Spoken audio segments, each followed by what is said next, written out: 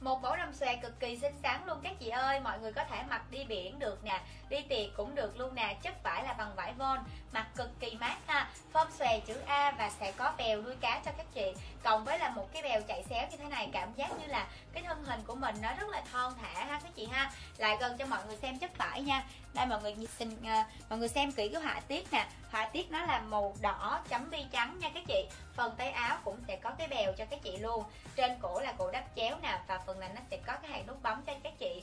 Những chị nào mà không mặc được cổ hở thì các chị có thể bấm nút lại. Còn chị nào mà muốn mặc cổ hở thì mình tháo ra ha. Rất là dễ thương luôn, các chị nhìn xem phía sau lưng nè. Đó, sau lưng nó sẽ có bo chung cho mọi người nha. Những chị nào mà cái vòng eo mình lớn á, thì các chị có thể mặc vừa cái đầm này luôn.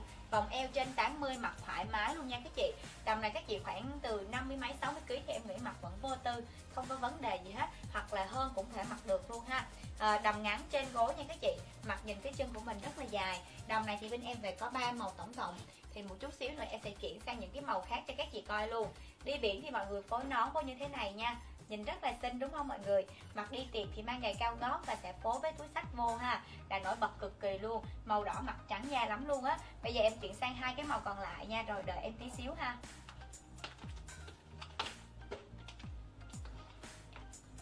Cũng như thiết kế của đầm màu đỏ em vừa mặc cho các chị xem á, thì cái đầm này màu của nó là màu đen và họa tiết là chấm bi màu trắng nha các chị.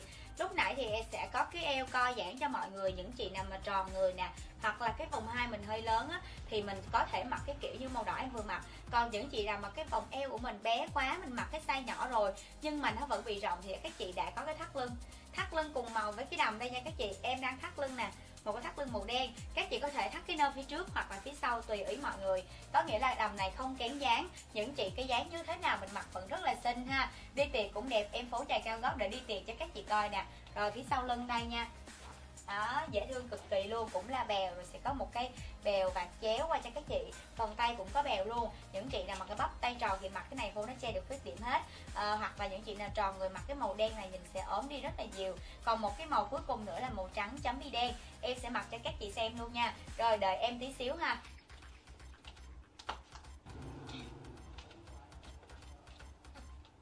Rồi đây các chị ơi, màu còn lại cũng như là cái màu cuối cùng của cái đầm em vừa mặc cho các chị xem hai màu nè.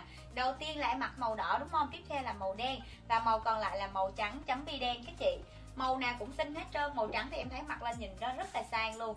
Nhìn nó sáng da với lại nhìn cực kỳ nổi. Các chị có thể mặc cái này mình đi tiệc cũng xinh ha. Rồi phía sau lưng đây mọi người em cũng là đang thắt lưng cho các chị coi nè. Nhưng mà thắt lưng này thì em thắt nơ các chị muốn thắt kiểu gì cũng được. À, các chị thắt ở phía sau lưng cũng xinh hoặc là không thắt đều được hết. Lưng của nó thì sẽ